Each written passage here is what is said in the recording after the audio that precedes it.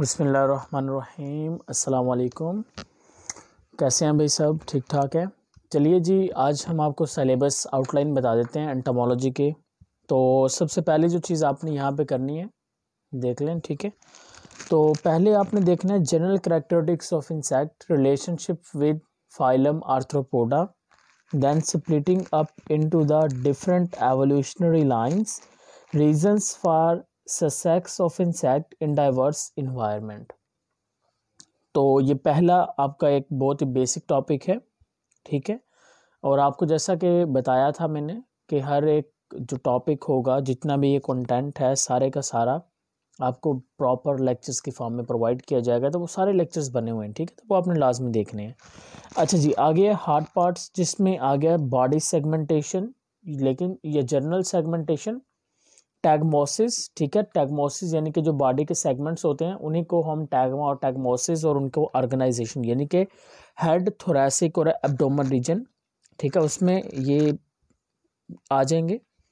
तीसरी चीज़ आ गई cuticle. Cuticle उनका जो एक्जोस्केलेटन होता है, जिसमें एपिडर्मल लेयर, उसका structure function basement membranes colours of insect sclerotization appendages ठीक है हेड के बारे में बात करेंगे सक्लैरिड्स क्या होते हैं मॉडिफिकेशन क्या होती है सिफिलाइजेशन एंटीना माउथ पार्ट्स उसके डिफरेंट अडोप्टेशंस नेक के बारे में थोरेसिक रीजन के बारे में विंग्स के बारे में एब्डोमन के बारे में सॉफ्ट पार्ट्स के बारे में सेंस ऑर्गन्स के बारे में न्यूट्रिशन रिक्वायरमेंट के बारे में रिप्रोडक्शन के बारे में और आल्सो डेवलपमेंट के बारे में ये जितना भी कंटेंट आपको यहाँ पे दिखाया जा रहा है एंटमोलॉजी का ये सिलेबस है तो माय डियर फ्रेंड्स मैं आपको बता दूँ एक बार फिर, यहाँ पर जो सबसे इम्पोर्टेंट टॉपिक्स हैं, जो आपके फाइनल टर्म के जो एग्ज़ाम है, उसके हवाले से इम्पोर्टेंट है, या अगर कोई बीएससी का स्टूडेंट है तो मैं उसको बता देता हूँ, भाई आपने जो इम्पोर्टेंट चीज़ फोकस करनी है ना, वो चंद एक टॉपिक्स रहेंगे। ये बेशक आउटलाइन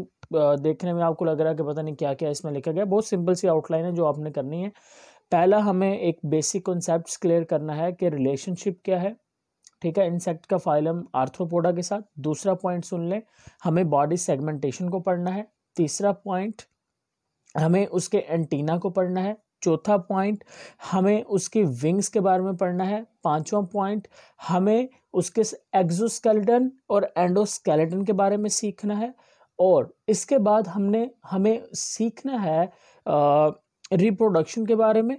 जो बहुत इंपॉर्टेंट है, उसका डाइजेस्टिव सिस्टम उसका रिस्पायरेटरी सिस्टम उसका एक्सक्रीटरी सिस्टम ठीक है? तो यहाँ पर वो चंद एक टॉपिक्स जो हैं, वो उन्होंने नहीं लिखे। जैसा कि डाइजेस्टिव सिस्टम नहीं लिखा, उन्होंने रेस्पायरेटरी सिस्टम सर्कुलेटरी सिस्टम ये इन्होंने मिसिंग किया यहाँ पर लेकिन वो एग्ज़ाम्स के अंदर इंक्लूड होते हैं, या तो शॉर्ट क्वेश्चन के फॉर्म में या लॉन्ग क्वेश्चन के फॉर्म में। तो इसलिए मैं आपको लाजमी कवर अप करवाऊँगा। क्लियर हो गया पॉइंट तो डियर फ्रेंड्स इसकी जो बुक है, वो नॉर्मली तौर पर आपको जो बुक शॉप्स होती हैं, या ओल्ड बुक सेंटर है, वहाँ से नहीं मिलने वाली।